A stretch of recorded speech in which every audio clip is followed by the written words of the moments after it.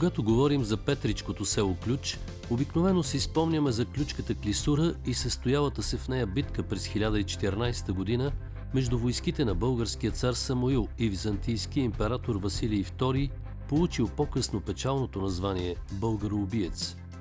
Самуиловите воини са обградени, атакувани от две страни и въпреки храбрата си съпротива губят сражението.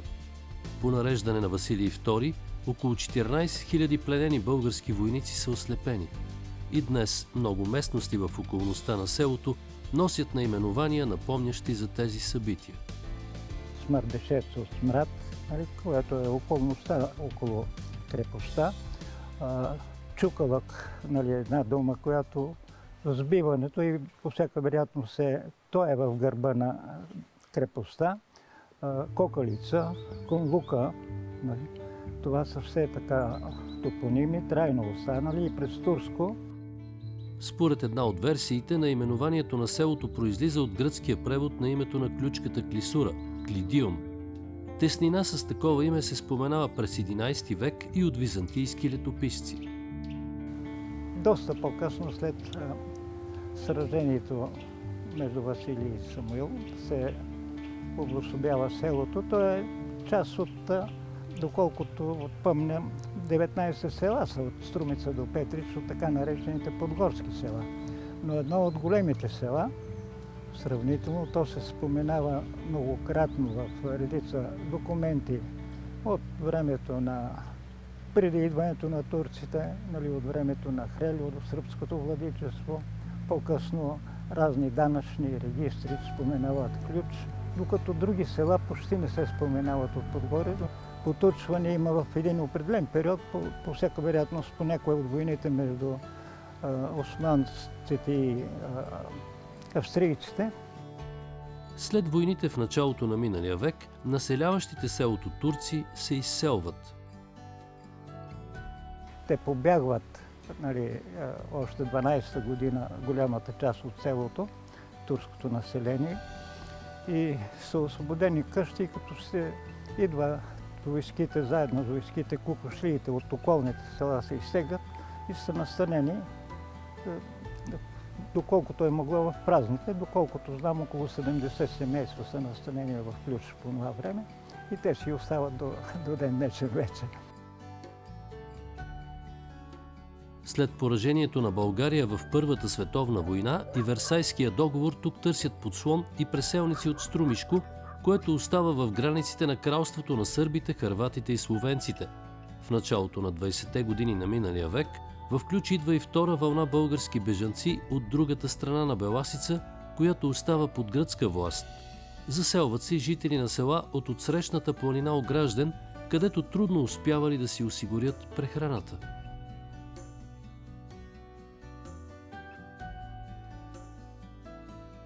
В момента, като постоянно население, наброяваме около 700 души. А, имаме все още работеща здравна служба с доктор и заболекар, работеща детска градина. Училището преди 10 години, около 10 години приключи своята дейност и децата основното си образование го завършват в село Скрът, съседно наше село.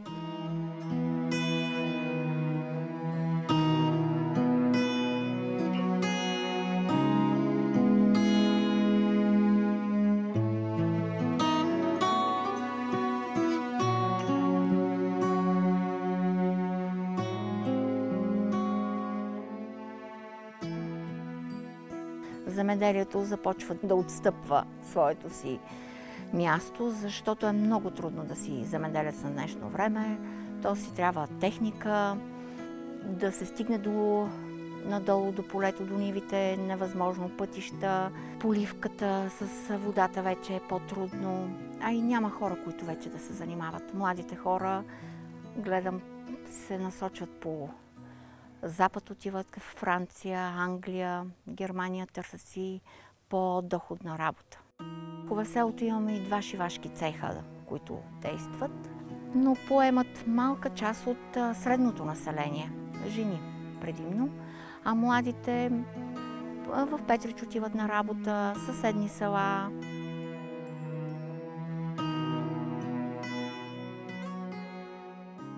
преди беше добре, горе-долу така се живееше. Обаче от как стана тази демокрация, всичко вече назад. Кой може да краде? Краде. За селото нищо не се прави.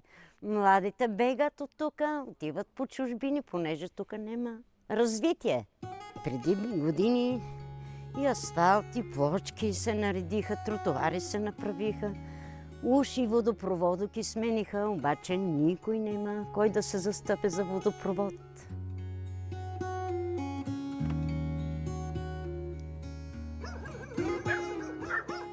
Еби, какво е положението? Трябва тази улица да се асфалтира. Канализация трябва. Еми, аз така мисля.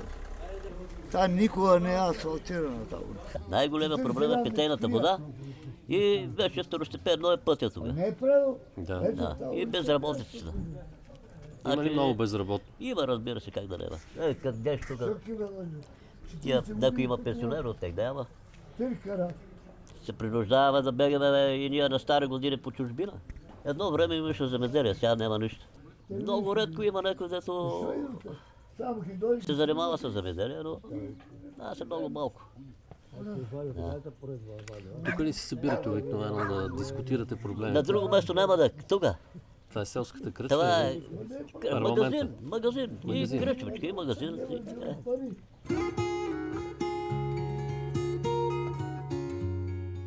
Инфраструктурата, като в повечето села, лоши пътища, водата също, смяна на водопроводна мрежа трябва да се направи и след това и пътищата да се подобрат, качеството на водата. Това е. Много, много задължения имаме и работа.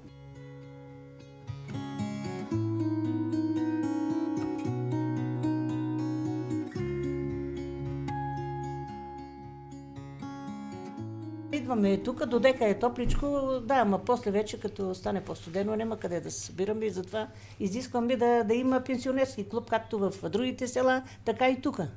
Всичко за, за баници, за турши, за всичко. Политика, от всичко по-малко. Сега сезона на туршиите мина ли или още? Е, още не, има още. Зелени турши слагаме, царски салати с моркови, зеле, чушки. И сега се правят а, тия зелето, къде са тия расол. Изчистваш а, зелката, правиш дупка, пълним я с сол, три дни стои, след това го заливаме с вода, притакаме го и готова за салата и за ракия.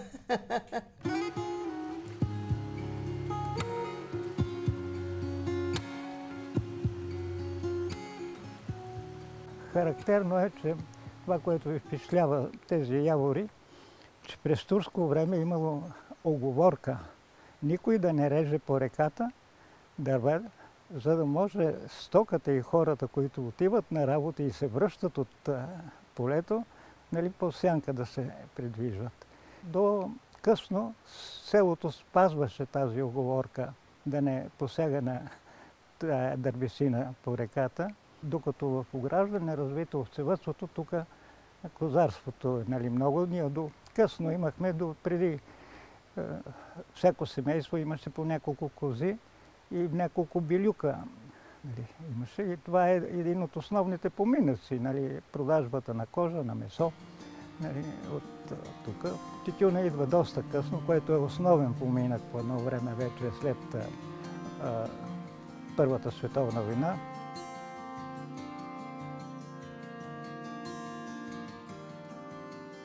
Няма много стока.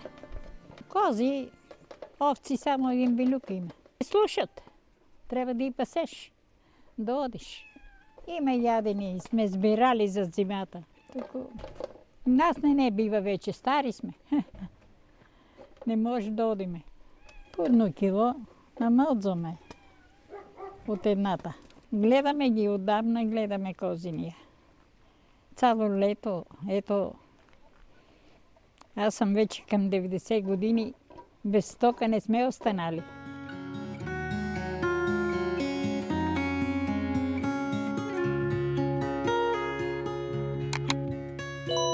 Планина Бела Сцен, най-новия природен парк в България, създаден 2007 година. И тъй като беше погранична зона, самата Беласица представлява много голям интерес на туристите, защото е нещо ново, което не е познато и има много голям интерес. Има много водопади, защото е една от най-стръмните планини в, може би, на Балканския полуостров, които са с причудлива форма, която всеки сам по себе си е красив. Връх Тумба също привлича много туристи.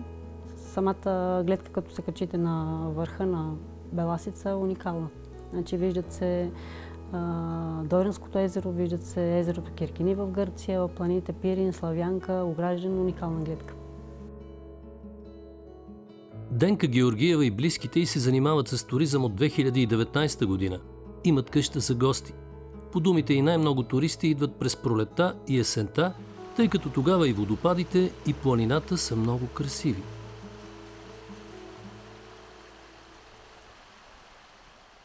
Много интерес има. Посещават планина Беласица, планина Огражден. Идват от цялата страна, включително преди пандемията имаше и доста туристи от чужбина, сега вече по-малко. Повечето са ни от София, но пък идват и за по-голям период от Русе, Варна, от Бургас. Защото Беласица има е интересна и тя е уникална планина.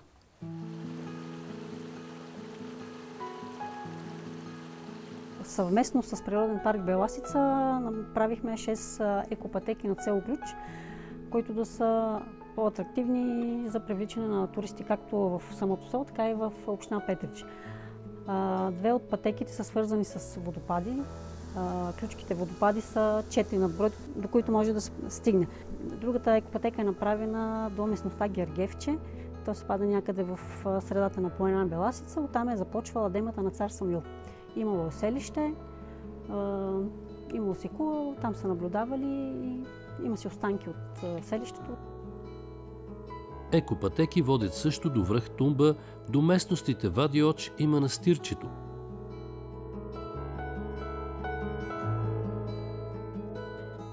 Идват посетители и питат дали могат да посетят от ключ Самилова крепост, но с превоз е невъзможно през Златарево, Струмешница и Самилова крепост.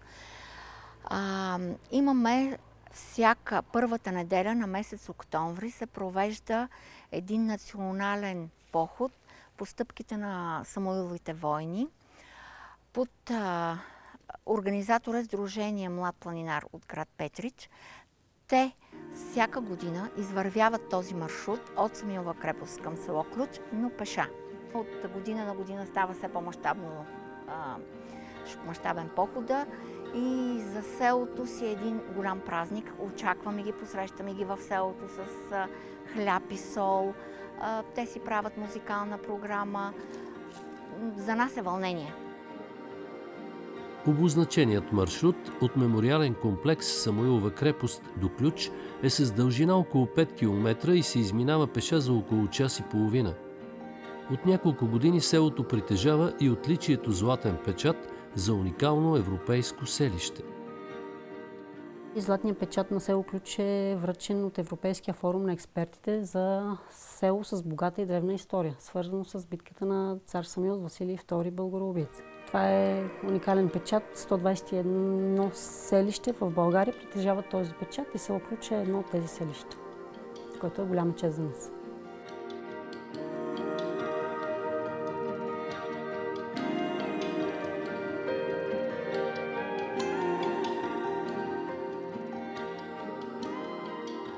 Кукерските игри в село Ключ започват от 1939 година. Винаги се играят на 1 и 2 януари. На 1 януари започват а, от а, едната махала, източната махала на селото. Традицията в ключ го казваме джамалари. Откъде идва тази дума, вече не мога да ви кажа. Гонят злите духове, влизат във всеки дом, скачат с звънците, с пожелания за здраве, берекет, много деца, благополучие. И това е. Всяка година правят нови маски, всяка година се увеличават все повече и повече джамаларите, повече желания има. Аз като секретар постъпих 2019 година. От тогава започнахме с настоятелството да събираме материали, стари материали за селото и решихме да направим едно етнографско кътче. Започваме от картината, която всички, като влезат в читалището, първото нещо отива погледа насочен към а, картината. Това са ослепените Самуилови войници. Закупена е от а, учениците в село Ключ. Може би 86-та година е закупена картината. Тогава по това време събирахме кестени, тютюн се събираше, предаваше се с тези пари е закупена картината. Пък тя символизира и Самилова крепост и свързваме ключ с Самуиловите войници и сега след тя беше в училището, след закриването на училището се съхранява тук в читалището. В експозицията са подредени също пособия, учебни помагала и снимки, свързани с дейността на училището, както и уреди и предмети, използвани в местния бит. На този стан нашите родители са такали килими, пътеки. Това е чакрък. същата функция изпълнява като това и това с вълна и се върти се и, и става нишка, която е тук вече. Виждаме и хората са плели търлъци, чорапи. По това време с такива чорапи са ходили. Това е суфра. На тези суфри на времето са яли хората. Това е изпълнявало функцията на маса. По-късните времена, по-възрастните жени го използват за точене, за приготвяне на баници, на тутманици, за направа на такива ястия. Тук на тази сцена в читалището провеждаме а, репетициите. Имаме танцови състави, детска танцова група, женска танцова група, мъжка певческа група и жени. Певческата група тази година, откакто е сформирана, прави 40 години. Тя има много участия в чужбина, има много записи в Българската национална телевизия, Българското национално радио. Танцовите състави също взимат много участие по фестивали. Стараеме се да запазиме българските традиции в селото.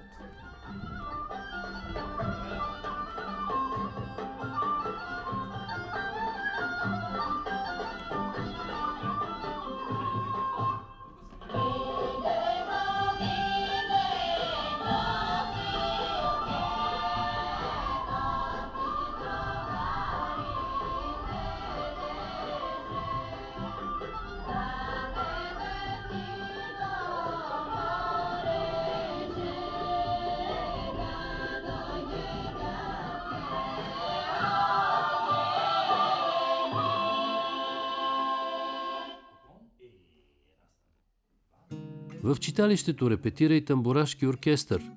Сградата е построена през 1986 година. Има киносалон и кабина, в която все още са запазени прожекционните апарати, зали за репетиции, библиотека с над 5000 книги. Идват читатели, търсят по-съвременната литература. И това гледаме да набавяме. Всяка, всяка година закупуваме нова литература, защото се търси новата литература.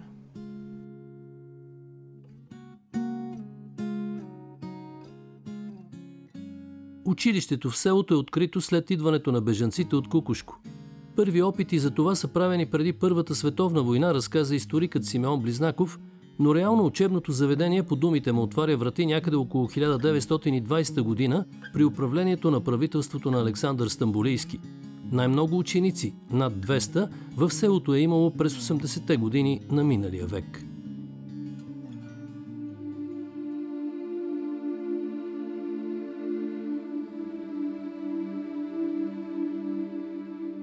Нашия красив храм е а, започнал да се благоустроява, да се съзижда най-напред през 1932 година и три години след това е бил осветен и е почнал да функционира.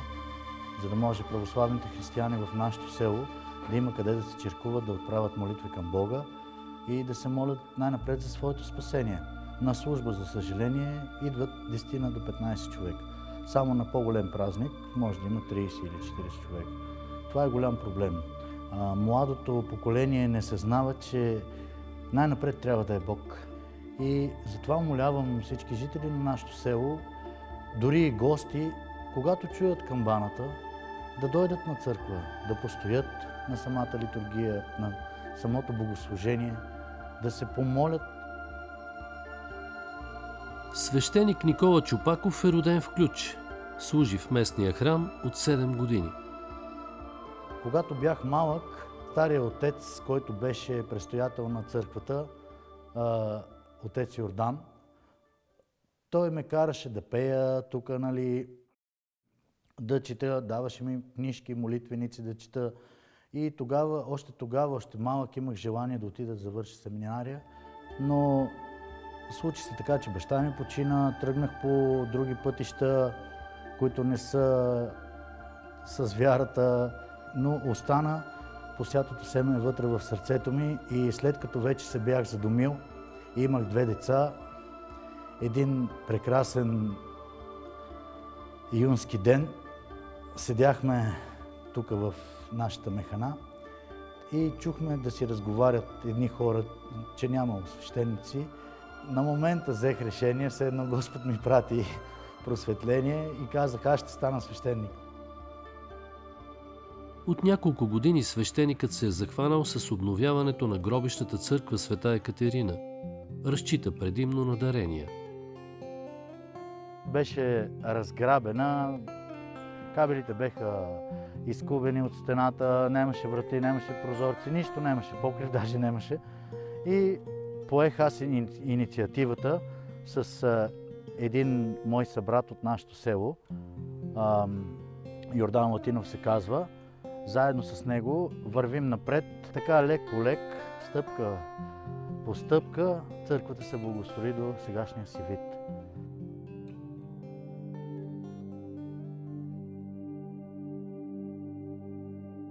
През 90-те години на миналия век в много български медии се появяват истории за извънземни, свързани с село Ключ.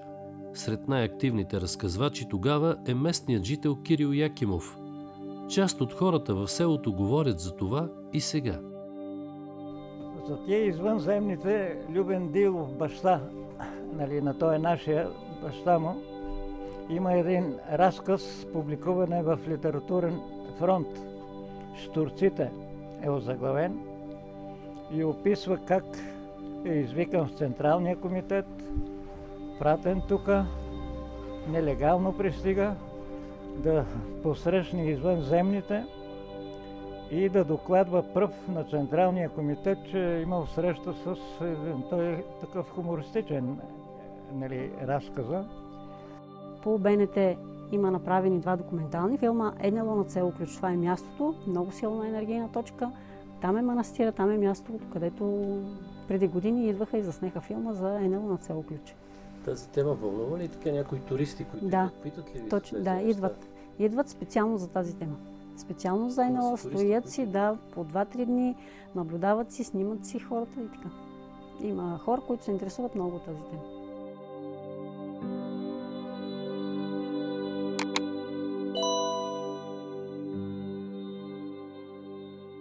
Е, селото ни е много хубаво, ама напоследък много изостана.